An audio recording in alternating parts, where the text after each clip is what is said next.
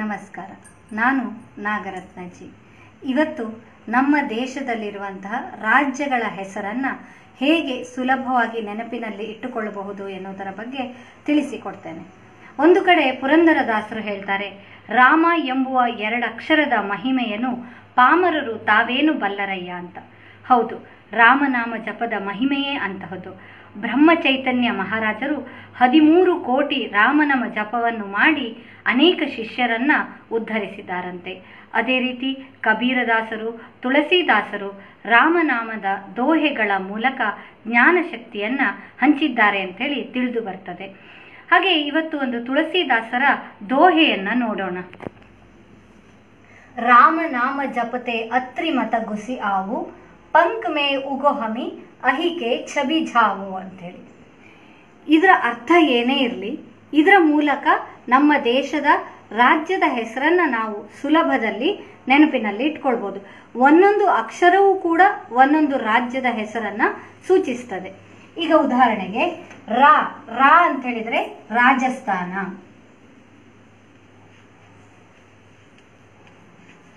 ರಾ, ರಾಜಸ್ಥಾನ. ಮ ಮಣಿಪುರ, ನಾ ನಾಗಾಲ್ಯಾಂಡ್, ಮ ಮಹಾರಾಷ್ಟ್ರ,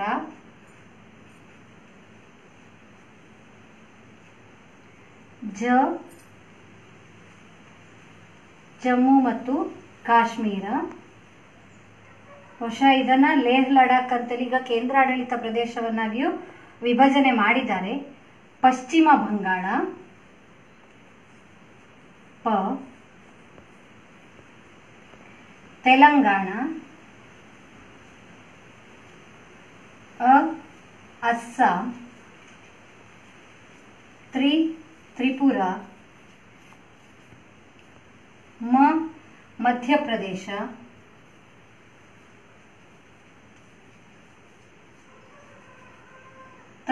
तमिलना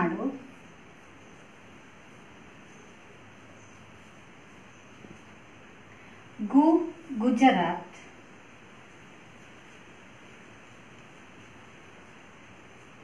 सी सिक्किम आ आंध्र प्रदेश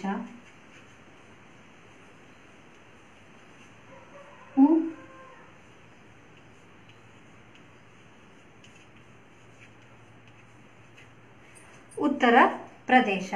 ಇದಿಷ್ಟು ಒಂದು ಸಾಲಿನದ್ದಾಯಿತು. ಇನ್ನು ಎರಡನೇ ಸಾಲಿನಲ್ಲಿ ಪಂ ಅಂತ ಹೇಳಿದರೆ ಪಂಜಾಬ್, ಕ ಕರ್ನಾಟಕ, ಮೇಘಾಲಯ, ಉತ್ತರಾಖಂಡ್, ಗೋವಾ, ಹರಿಯಾಣ, ಮಿಜೋರಾಂ, ಅರುಣಾಚಲ್ ಪ್ರದೇಶ, ಹಿಮಾಚಲ್ ಪ್ರದೇಶ, ಕೇರಳ, ಛತ್ತೀಸ್ಗಢ, ಬಿಹಾರ್, ಜಾರ್ಖಂಡ್, ಒಡಿಸ್ಸಾ ಅಥವಾ ಒರಿಸ್ಸಾ ಹೀಗೆ ಎಲ್ಲ ರಾಜ್ಯದ ಹೆಸರನ್ನು ಈ ದೋಹೆಗಳನ್ನು ಮಕ್ಕಳಿಗೆ ಬಾಯಿಪಾಠ ಮಾಡಿಸುವ ಮೂಲಕ ಸುಲಭವಾಗಿ ಕಲಿಸಲಿಕ್ಕೆ ಸಾಧ್ಯವಾಗ್ತದೆ. ನಮಸ್ತೆ.